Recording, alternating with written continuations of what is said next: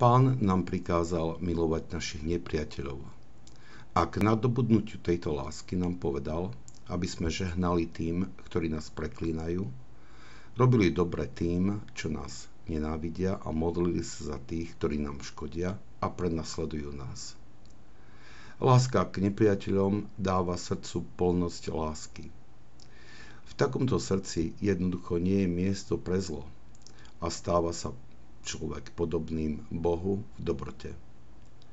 Apoštol Pavol pozbudzoval kresťanov usilovať o tento vyšší morálny stav, keď napísal Ako Boží vyvolenci, svätí a milovaní, oblečte si hlboké milosrdenstvo, láskavosť, pokoru, miernosť a trpezlivosť.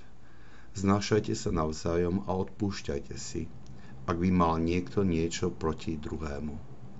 Ako pán odpustil vám, tak aj vy. Dokonalá láska k blížnemu robí z nás adoptívnych Božích synov a céry. Milosť Svetého Ducha je priťahovaná k srdcu takého človeka a presvetá láska k Bohu sa vlieva do neho. Človek si musí často pripomínať cieľ svojho snaženia, aby dokázal prekonať neľahké prekážky, ktoré mu stoja v ceste. Toto sa usiluje aj svätý Ignác Briančaninov, keď nám pripomína príkaz lásky k nepriateľom bez toho, aby sme mali pred očami cieľ nášho snaženia, naplnenie tohto prikázania bude takmer nemožné.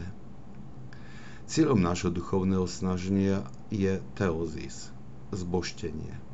Je to proces, ktorým nadobúdame podobnosť s Bohom. Čím viac sa vzdialujeme od Boha, tým menej sa mu podobáme. Tí, ktorí sa mu chcú podobať, musia žiť podľa jeho príkazov a neunávne na sebe pracovať.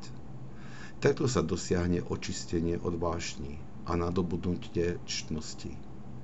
To vedie nielen k očisteniu Božieho obrazu v nás, ale aj k nadobúdaniu podobnosti s ním skrze pôsobenie Božej milosti.